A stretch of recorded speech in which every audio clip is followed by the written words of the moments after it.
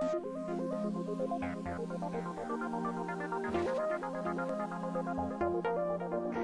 going to do squats or body squats because it's just body weight and it's a great functional exercise to work the muscles of the lower body. Okay, especially the hip area muscles and your backside, which I'm going to call your glutes. That's your gluteus maximus, the muscles right here, and you've got your medius on the side. That's really important to work. And uh, that's going to help protect your lower back and your knees and, uh, and strengthen the, the, the legs in general. Okay, so Megan's going to help me demonstrate the squats, and you're to, she's going to stand with her feet slightly wider than your, your hips, and uh, just clasp your hands across from your chest, just to get them out of the way. And to lower her body, she's just going to think, I'm going to hinge back in my hips and lower my body down. And you're going to squeeze your backside and come up. Squeeze those glutes all the way. Good, to nice straight position. And she's going to repeat, do about 10 and come up. Good.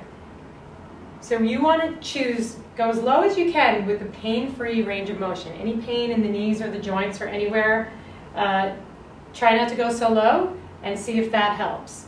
And you can go very small if that is what you can do, and gradually you'll get lower and lower, hopefully.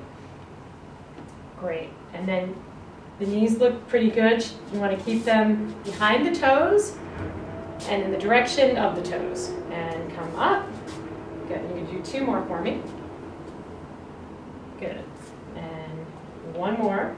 And right at the bottom, she's going to really squeeze her glutes and come up all the way. Good. So she's going to do about 10 facing sideways so you can see another angle. And what, what she's going to do and what you're going to look for is that her spine and her shins, go ahead and do one and stop at the bottom.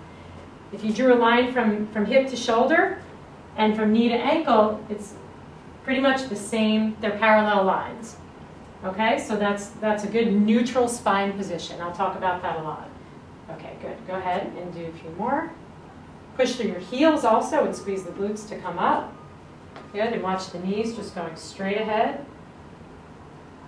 A mirror helps also.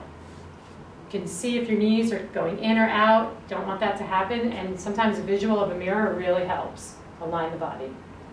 Good, I want you to Squeeze the glutes to the bottom a little bit more and think of really coming up from the hips first. Good. And one more time. And squeeze and. Good. And drop your arm, shake it out. Did you feel that? I did. And Good. when you corrected it, I felt a big difference. Okay, great. So those are the body squats.